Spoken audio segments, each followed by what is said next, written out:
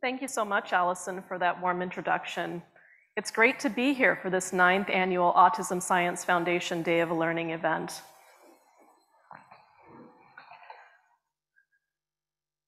And so I'm going to be sharing with you today about shaping new federal priorities for autism research, services, and policy.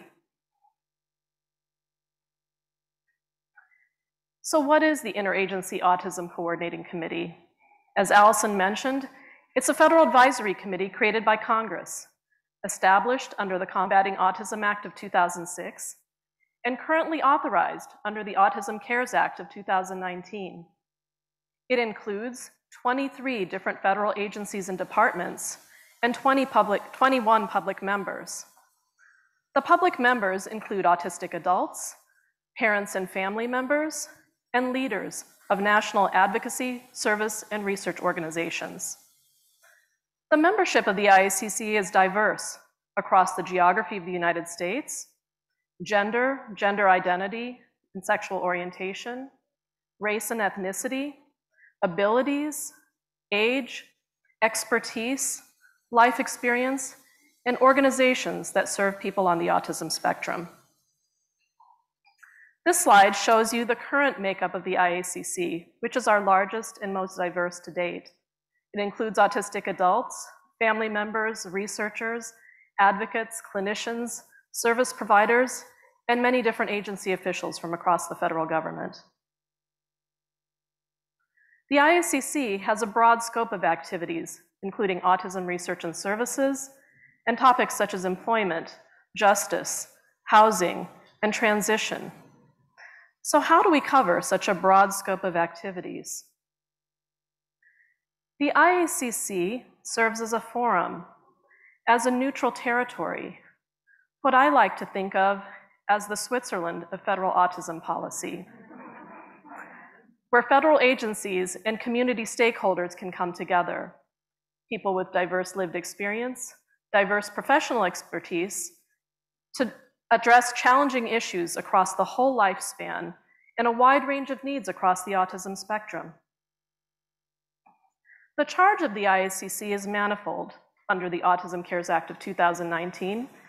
It includes convening twice annually, coordinating federal agency activities related to autism, gathering public input on issues related to autism, developing and annually updating a strategic plan, developing an annual summary of advances in autism research, monitoring federal activities related to autism, and lastly, providing advice and making recommendations to the Secretary of Health and Human Services. The IACC is a federal advisory body this means it makes recommendations about autism research, services, and policy to the HHS Secretary. It also provides guidance to federal agencies about priorities identified through the collective effort of community stakeholders and federal officials. What the IACC does not do is allocate funding or control implementation of autism research and service programs in the federal government.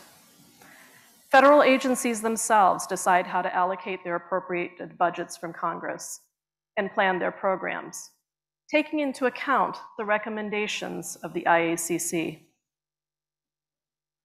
The IACC in its work issues a number of reports, including the IACC Strategic Plan, the IACC Summary of Advances in ASD Research, and the IACC Portfolio Analysis Report, which is a report that analyzes research funding across US, federal, and private funders. And this report assists the IACC in their responsibility to monitor federal autism activities. So the first IACC strategic plan was focused exclusively on research in accordance with the Combating Autism Act of 2006. This plan is framed around seven consumer-based questions and topics that were decided by the IACC including screening and diagnosis, the biology of autism, risk factors, treatments and interventions, lifespan issues, which was added in 2010, and infrastructure and surveillance. Currently, the IACC Strategic Plan is in its sixth edition that was issued in 2017, and it's organized around the same seven community-based questions and topics. In 2014, the Autism Cares Act required that the plan expand to cover research, services, and supports. And this plan includes 23 objectives that address research, services, and policy, and a budget recommendation. Right now, the current committee is developing a new seventh edition of the IACC strategic plan. You may be wondering, so what is the process that is used to shape federal priorities for autism?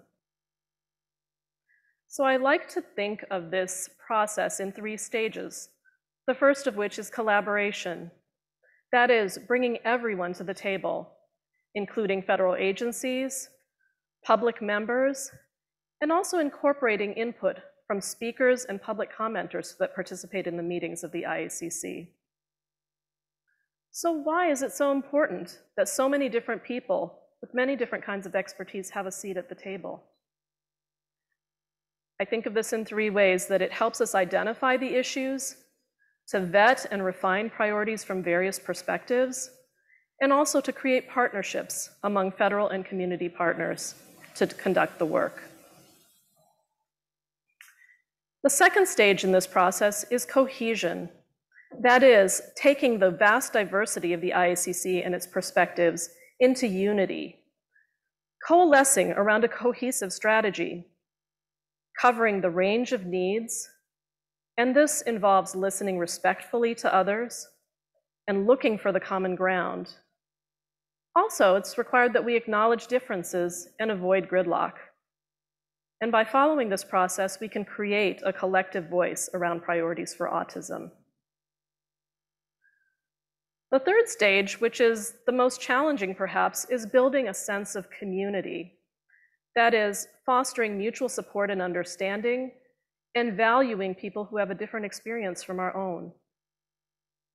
In this, we have to commit to ensure that all needs are met and provide, and we do this by providing support to people on the autism spectrum and their families, and also by working to create a society that is welcoming and inclusive.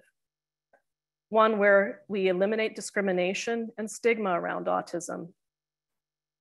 Working together, we can build a positive future where all people on the autism spectrum are supported, valued, accepted, included, and empowered to achieve their full potential. So you may be wondering, how do I, as the acting National Autism Coordinator, support these efforts?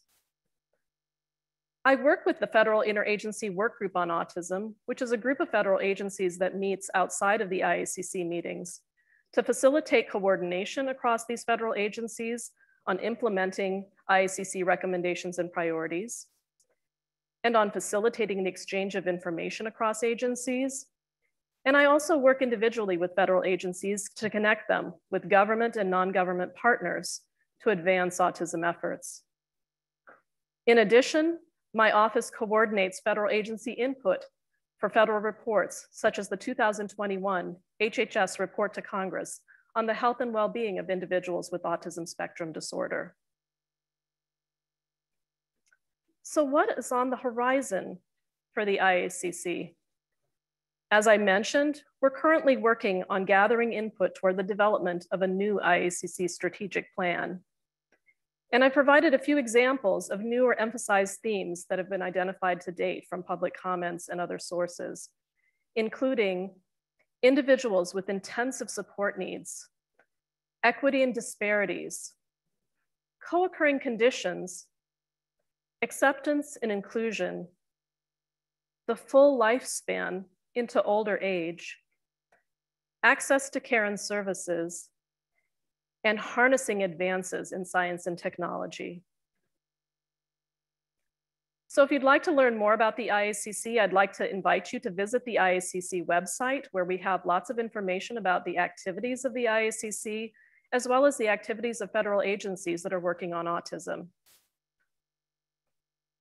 I'd also like to invite you to join us on April 27th at 1 p.m. Eastern for the NIMH OARC special event for Autism Awareness Month which is called Animating the Future for Exceptional Minds, where we will be hosting the amazing organization Exceptional Minds from Los Angeles that helps prepare young adults on the autism spectrum for careers in animation, digital arts, and entertainment. I'd like to acknowledge the OARC staff. This is the group of dedicated individuals that works with me every day to make all of this work possible. And I'd like to acknowledge also the members of the Interagency Autism Coordinating Committee and people in the public who regularly contribute to the IACC and all of the work that we're doing. And lastly, here's how you can connect with us. You can visit the website. We'd love to have you join us for the next IACC meeting on April 13th and 14th, where we're going to be talking about housing and communication. We also would welcome you to give public comment to the IACC in writing or via video conference. And here's our address where you can contact us, and we'd welcome you to join our mailing list or Twitter. So thank you so much for hosting me today. And I look forward to hearing your questions. Thank you.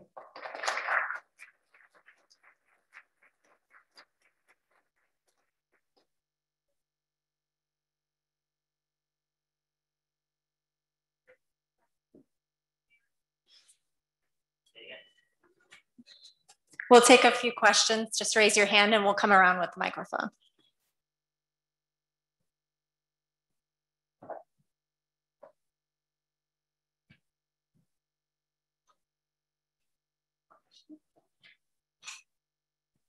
We have one question here.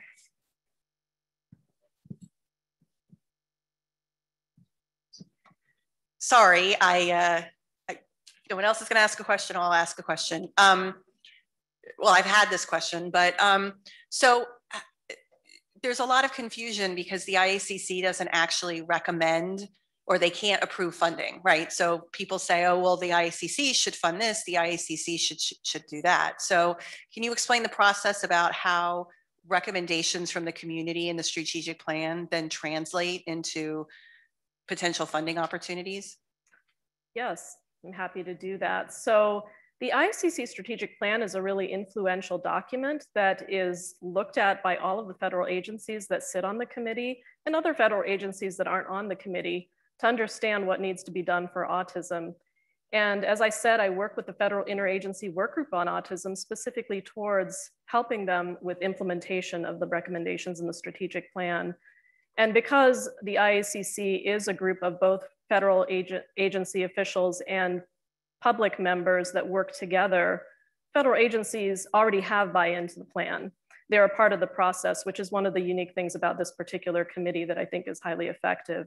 And so agencies are already committed to wanting to achieve the goals in the strategic plan. And they, but they have to decide within their agencies how they're going to allocate their budgets and achieve the various goals. Thank you for your presentation um, very informative about what the IACC does. I have a quick question. Um, how has the representation, and I'm over here, by the way, oh, sorry okay, about that. I couldn't see. um, how has the representation of, of individuals with autism on the community changed over the years? I don't know if you could speak to that a little bit. Yes, so when I first started, the IACC was 19 members, and there was one individual on the autism spectrum on the committee at this point, we have seven members on the spectrum on the committee. And the, the law has changed. Initially, it said that we needed two from each of three categories, including individuals on the autism spectrum, family members, and leaders of organizations. And now the Congress requires us to have three of each category. And many of the members actually wear multiple hats. For example, they may be both a person on the autism spectrum and a parent, or a parent and an advocate that works at an organization. So many people do cover more than one category.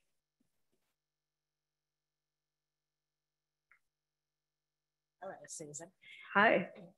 Um, I had the pleasure of presenting at the committee a couple of years ago, and I love the sign that you put up of Switzerland. Um, I think that's really important because there are such diverse opinions um, on neurodiversity versus autism as a disability. And I'm just wondering, it's been several years since I was there, has that um, chasm uh, improved in terms of uh, its um, understanding of each perspective? Well, it's constantly evolving. And as you know, the autism community is very passionate about sharing their views, and there is a diversity of views but we feel like there's room at the table for different viewpoints at the IACC. And so even though sometimes it can get a little bit tense when people are sharing things they're really passionate about and people have different ideas, we welcome all of those views. And there is an, a continuing evolution on thoughts about how to incorporate all of these things together.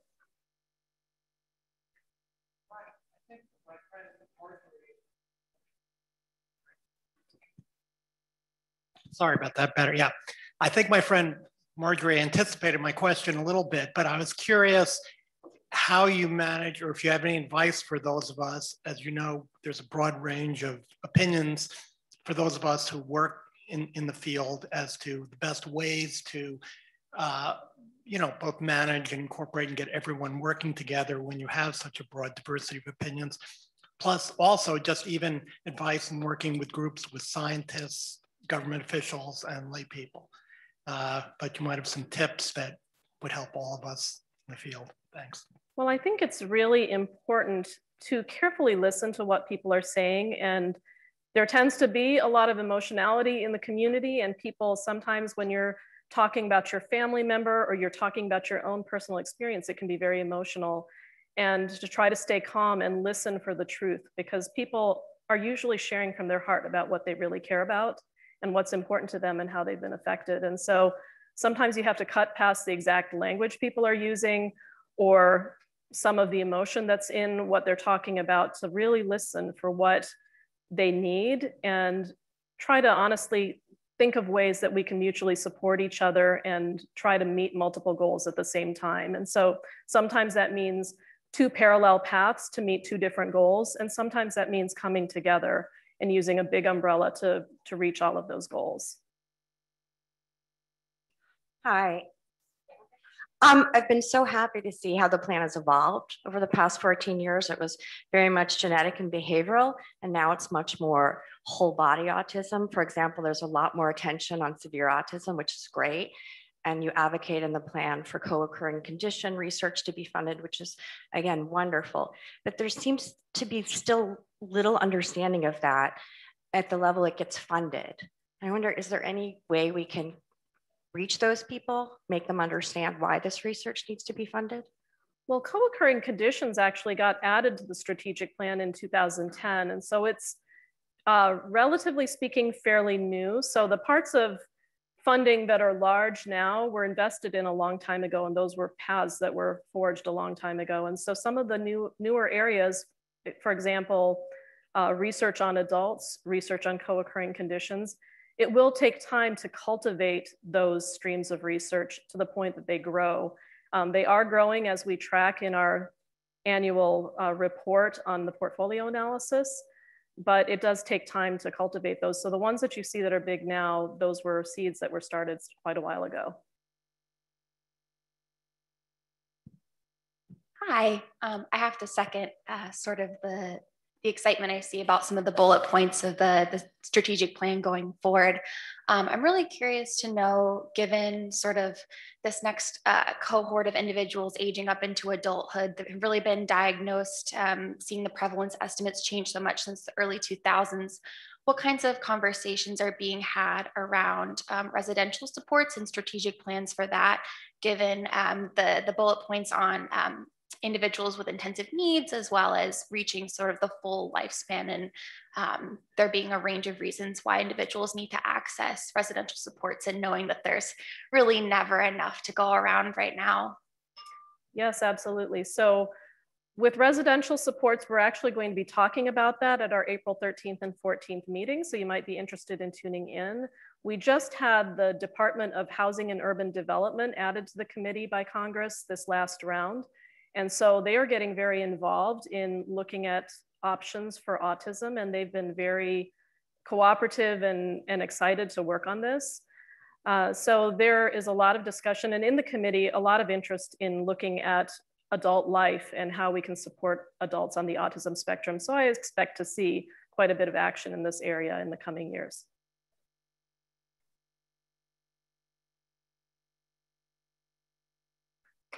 Thank you so much.